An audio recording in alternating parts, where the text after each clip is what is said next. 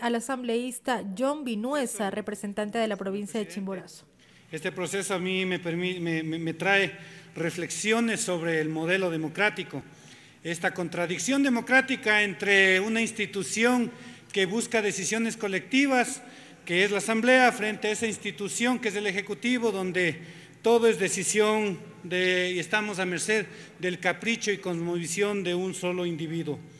Eh, creo que hay, es un momento de repensar el país, en verdad se han, dado estos temas, en, el hecho de que si queremos seguir con un modelo donde es un individuo el que decide los destinos o deben ser procesos parlamentarios y comunitarios. Este proceso para mí es parte de una construcción de institucionalidad. Eh, una asesora del asambleísta Cadena pidió una firma para un cambio de, para un proyecto de ley que modifique eh, la ley eh, orgánica de la función legislativa, porque no le gusta este proceso y eso me parece bien. Esto es parte de una construcción de institucionalidad. Ojalá lleguemos en un momento a un modelo en donde el poder esté por poco tiempo en pocas manos para que no existan esos celos políticos enormes, donde los lobos de abajo muerden a los lobos de arriba y donde los tiburones de la asamblea están mordiendo las aletas del tiburón que está en Carondelet. Dentro de la asamblea, este proceso es una lucha por el poder. Guamaní tiene un quinto de voto y le quieren poner en un centésimo, trigésimo séptima parte de voto. Es decir, le quieren quitar el aguijón grande y dejarle un aguijón chiquito, las otras abejas. Esto no es más que una lucha por el poder. Mientras esto fortalezca a la Asamblea, por mí está bien.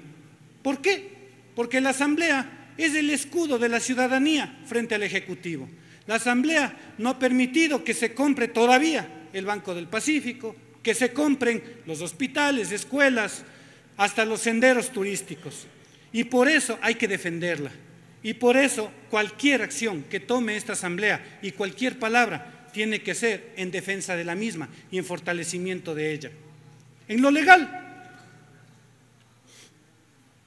si se cumplen los procesos, es legal, es democrático. Así la decisión, sea que caiga Guamaní o que no caiga. Pero es justo. La verdad es que no importa. Para lo que están decidiendo aquí, lo que menos les importa en las decisiones es si es justo. Ella presentó una moción, el CAL la aprobó, a diferencia de otros procesos, como de Jiménez o de Llori, donde se tomaron decisiones individuales, aquí se está juzgando una decisión colectiva. Y esto ya no permite que sea el mismo proceso.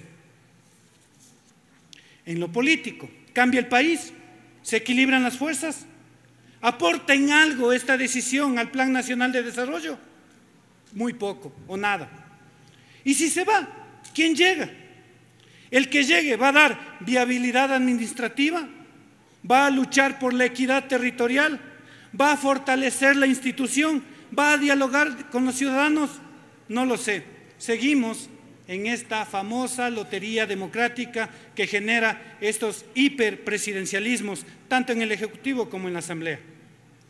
Por eso, a pesar de la bancada a la que pertenece, a pesar de estar tan cerca del gobierno, gobierno en el cual yo no creo, a pesar de que la señora Guamaní es cercana a una ex ministra que sacaba ojos en octubre, a pesar de que el servicio de compras públicas parece que es una cuota cercana, a pesar de que desde el discurso con el que asumió el cargo fue molesto, a pesar de que sus ideales, principios y valores son totalmente opuestos a los míos.